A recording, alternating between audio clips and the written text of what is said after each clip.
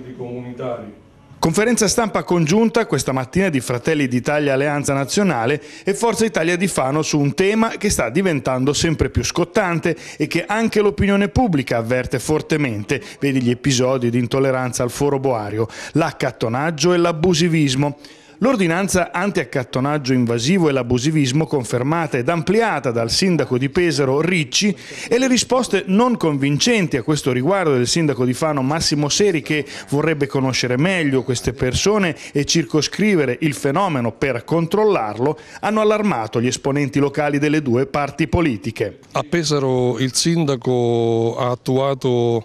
l'ordinanza per combattere questo fenomeno l'ha migliorata attraverso il decreto Minniti,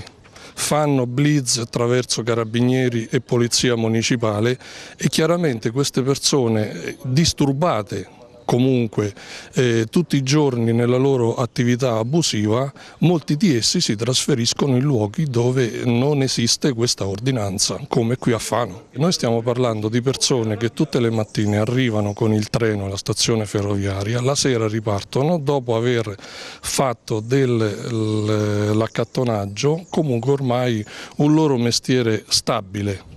io ritengo necessario che il sindaco debba intervenire e rimango molto perplesso dell'uscita che ha fatto giorni fa dove invece di intervenire in maniera seria e efficiente come succede anche a Pesaro, vuole dare in qualche modo il riconoscimento, lo status di legalità a queste persone, addirittura attivando i servizi sociali. Fratelli d'Italia ha presentato una mozione inoltre in Consiglio Comunale questo mese per chiedere alla Giunta azioni precise a questo riguardo, con la conseguenza però di essere stati tacciati di razzismo. Ho soltanto detto che c'è una situazione sgradevole in, eh, in tutti i parcheggi di Fano, purtroppo una situazione che dà fastidio ai cittadini, quindi a questo punto se sono razzista io che ho eh, espresso quello che è una problematica cittadina, tutti quelli che la pensano come me sono razzisti o soprattutto sessisti, una cosa grave che secondo me è stata detta fuori luogo, forse non sapevano